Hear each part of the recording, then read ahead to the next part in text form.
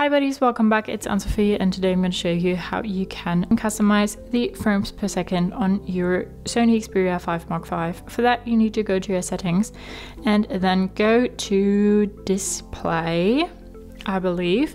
Scroll down to high refresh rate and you can only say to set the refresh rate to 120 for a smoother display.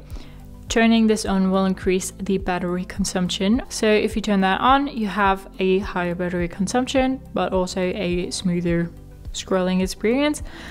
Otherwise, it doesn't say what it's set to automatically. I believe like 60 probably. So unfortunately, that's the only thing you can customize here. You can't say that you want to set it to auto or something.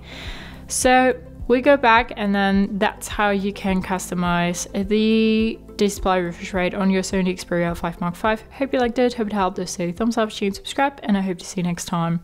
Bye.